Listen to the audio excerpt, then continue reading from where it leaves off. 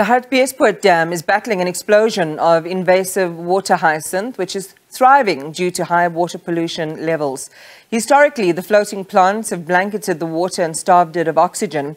Magalies Water was appointed to fix the water quality problems wrought by the plant, and it forms part of the by the plants rather, and it forms part of the Crocodile West catchment area. David Magae is Magalies Water spokesperson and joins us now. David, good evening to you and welcome. You've been charged with developing a water resource manage management plan for the Crocodile West catchment. Explain to our viewers what this entails and how the dam forms a part of that plan. Thank you, Iman, uh, for the invite and good evening to your viewers at home. It is indeed true that uh, Magalies has been appointed by the Department of Water and Sanitation for a period of three years to develop a water resource management plan, which in essence is a strategy of one dealing with the poor raw water quality in the Crocodile West catchment area. And in that specific regard, our mm. task is to try and improve mm. the water quality in the catchment area, including water in the mm. Hartbeespoort Dam.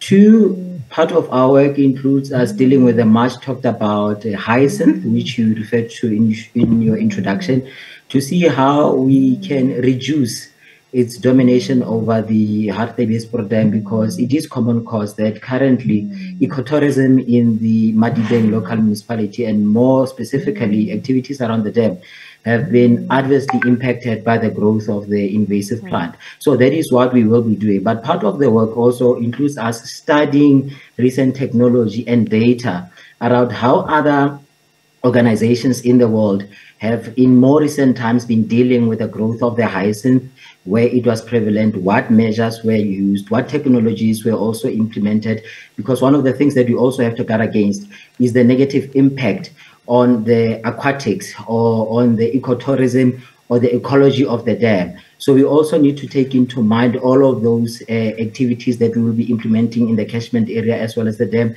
but uh, be mindful of any envisaged negative uh, impact and how we ought to then mitigate yeah. that. I mean, the dam, and just, you know, co correct my history here, it's about 102 years old.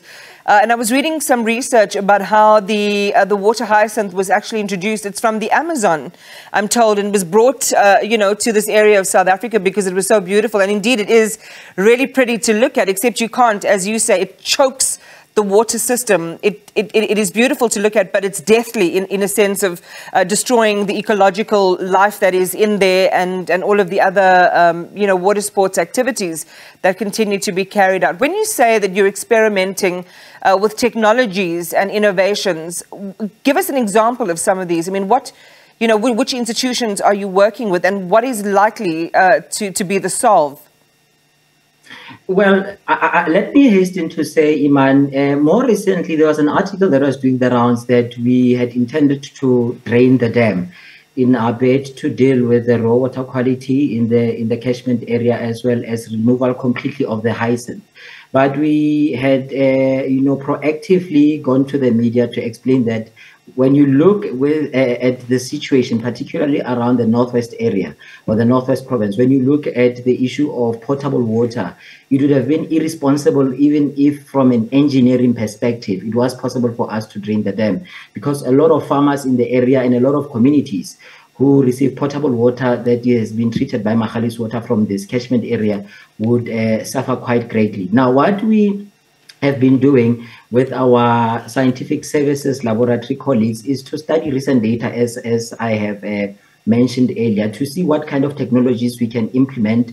It is common cause that, uh, for example, hyacinth is a fertilizer. Some of the people that we've already started to, to engage are people who are going to uh, see the economical value of what we consider waste. So as we would be clearing the dam, there are people that we have started to engage who can turn the, this uh, hyacinth into a fertilizer, create job and stimulate the local economy. So those are some of the things that we will be talking to, some of the people that we are talking to, and some of the innovations that we are intending to plan uh, and implement. But I must emphasize, because this is a three-year project, and we know that we are not the first people to have been given this task of trying to deal with the hyacinth and improve the raw water quality.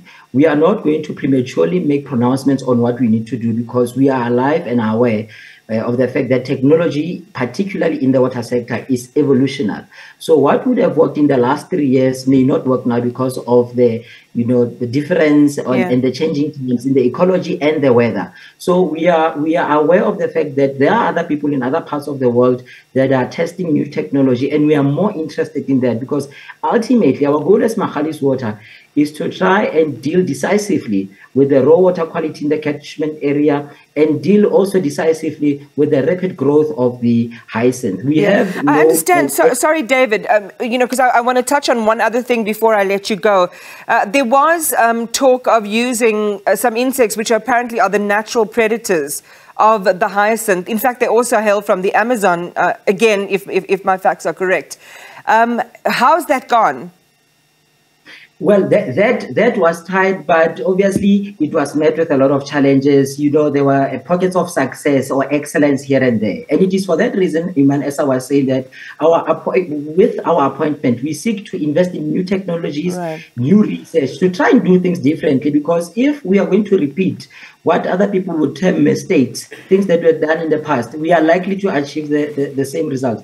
It is uh, common cause, as I was saying before, you, you, you wanted to also raise that issue to say part of the reason or part of the challenge that we're dealing with, when you look at the Crocodile West catchment area and the Hartbeespoort Dam, is the disposal of effluent in Gauteng which now makes the lot the, the water become more toxified to the extent that this hyacinth doesn't have a pro, uh, doesn't have a chance of it disappearing over time. So what we are going to do as part of our work is to investigate and pinpoint locations where the discharge of the effluent is being done, recommend to the department appropriate actions that need to be taken because the moment you cut the supply of the effluent into the scheme or the supply system, you have dealt with one part of the problem because ordinarily the rapidity with which the hyacinth will grow will definitely go down. So part of the work that we are going to do is also to advise the department on what needs to do, the appropriate actions against those who are found wanting as it relates to disposing effluent into the system, and also now other methodologies of trying to completely deal with it.